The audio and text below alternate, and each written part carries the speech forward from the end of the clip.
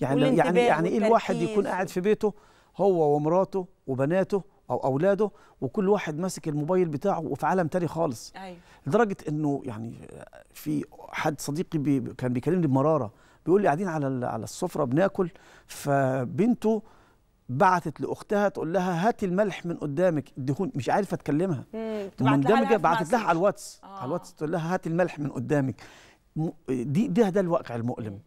ده بقى علينا إحنا كأسر وكبيت وكإعلام وكصحافة وككل وسائل الميديا إن إحنا نخرج الناس من الوضع ده ونحاول نواجه ون- ده ونحاول ونواجه. نغرس ده في. اولادنا لأنه يعني لازم برضو نكون على قد ما نقدر إحنا كمان كلنا متكاتفين في إننا نحاول على قد ما نقدر نخلي حتى الولاد دول يعيشوا يعيشوا سنهم هو ويعيشوا ده حياتهم هو ده اللي حضرتك المفروض زي ما إحنا عشنا على فكرة وإحنا يعني إحنا جيل برضو الحمد لله انه على قد ما بقول انه انه يمكن الولاد دلوقتي عندهم حاجات كتير قوي إحنا ما كانتش عندنا بس إحنا جيل لعب اتبسط كان عارف يعني إيه يوم جمعة كان عارف يعني إيه آه، آه، لما كان عارف يعني إيه لعب ما كان كانش عارف يعني تليفون، إيه ما كانش فيه ألعاب، ما كانش كده. دي بس كان في ألعاب. تانية اللي هي البسيطة في. الأرض وال كنا بنتلم وال- كلنا آه، ونلعب. لعبة مع بعض كنا يوم الجمعة ده لما نروح عند جدتنا نتقابل كلنا ونلعب لعبة كلنا ولاد الخالات وولاد العمات يبقى هنا دور الأسرة بقى بالظبط. دور الأسرة اللي هم الكبار اللي عاشوا الأيام الحلوة دي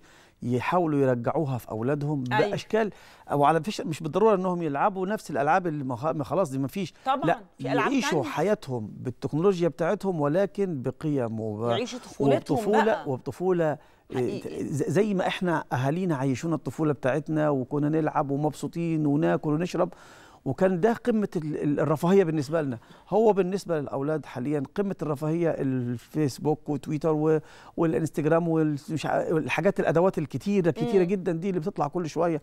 يعني أنا أنا بقالي سنة دلوقتي شغال خبير تطبيقات ذكاء اصطناعي. أنا في البيت عندي بعلم بناتي أنا عندي ثلاث بنات بعلمهم بس شاء الله. بحدود بحدود آه. لأنه ما ينفعش أديلهم أكبر من سنهم. آه آه آه. يعني أنا عندي بنتي ريتاج اللي هي في الوسطانية يعني الثانية دي خ...